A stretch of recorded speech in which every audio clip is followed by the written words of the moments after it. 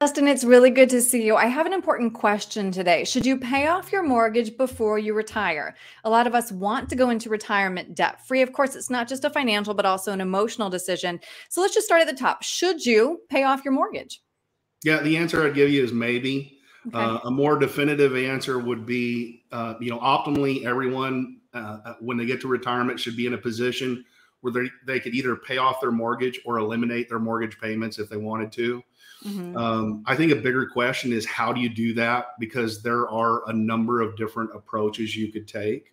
Mm-hmm. Uh, I mean, uh, right. Typically, so let's walk through some of those, right? Because we wanted to start with the typical approach, which is people making an extra payment or two, maybe once every year on their mortgage balance. And you said that's typical, but not necessarily safe.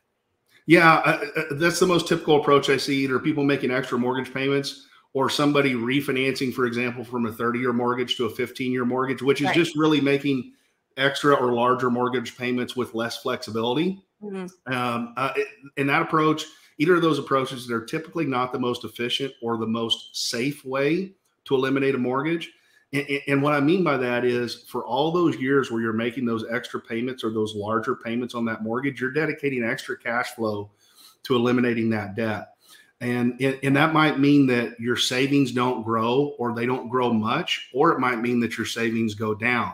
And that can put you in a really dangerous position when financial emergencies come along. So I've seen this before. Mm-hmm. I've seen people who dedicate all their extra cash flow work really hard towards eliminating a low interest liability like a mortgage. And what happens is sometimes they end up owing a bunch of money to Visa and MasterCard because they weren't prepared for the financial emergencies that came, that came along. So there are some other ways to do the exact same thing, but be in a better position of control and security. Okay, so let's walk through some of those ways. So this one you are calling the safe way. What is the safe way to pay off your mortgage? Yeah, so rather than taking that extra cash flow and giving it to the bank each month, basically you take that extra cash flow and and save it for yourself in a side fund okay? So you're still going to end up paying interest on the mortgage but now you're creating a side fund. You can earn interest on that side fund earn a return on that side fund. And over time the the balance of your mortgage is going to come down and the balance of that side fund is going to come up and and you're going to reach a date where you can write a check to pay off that mortgage okay? And at that point whether or not you write that check your mortgage is essentially paid off it's just a question of do you want to write one big check or do you want to write a bunch of small checks each and every month and continue that? Okay. Mm-hmm. And, and, there's a conversation to be had around that. But that's a much safer way to do that because you're in control of that money during that whole process. Um, you know, uh, so put you in a much better position if when financial emergencies come come along, put you in a much better position if you were to get sick or become disabled, lose a job. Uh, it makes it much less likely that, uh, or much more likely that you're going to continue to be able to make your mortgage payment so that you don't lose your home. Then that is very important. Yeah. Okay, now let's walk through the optional way. What does that mean? Yeah, so this might come to a surprise to a lot of people. Uh, you don't have to pay off your mortgage to eliminate your mortgage payments.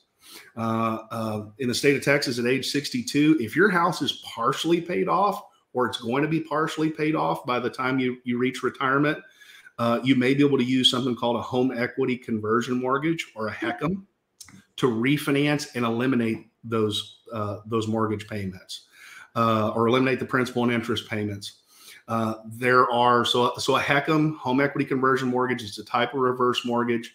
There are a lot of misconceptions around these products, but they do open up some uh, some some exceptional planning opportunities.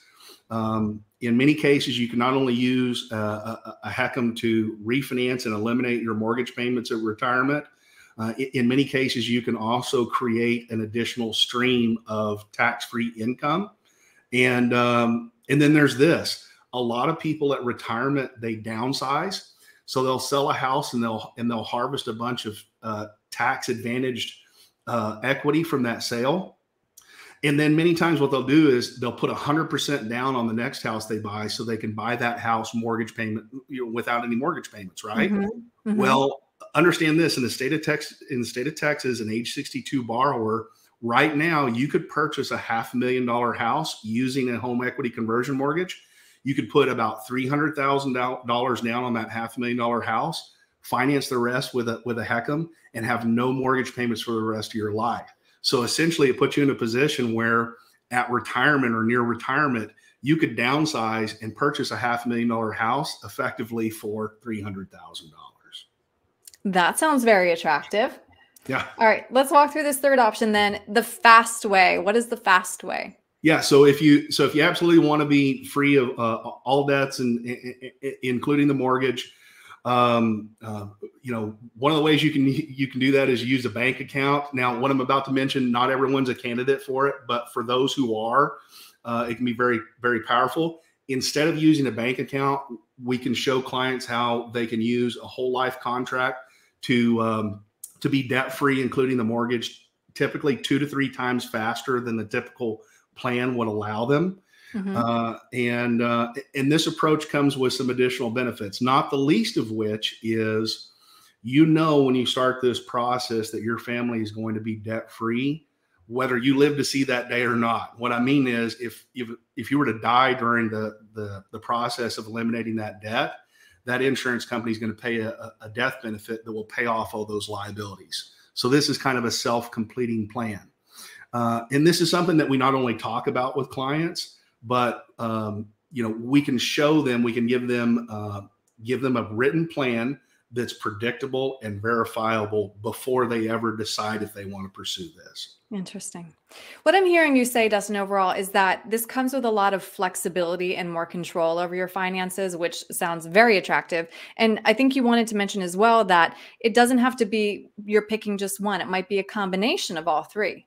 Yeah, absolutely. Uh, many times uh, with clients, we'll we'll combine these approaches depending upon what the client needs or wants. Uh, the main thing is is just when you when you approach this problem of trying to eliminate debts or get in a position where you could eliminate debts if you wanted to. Um, you know, it's just important that you have a plan and that plan's predictable and efficient. Right.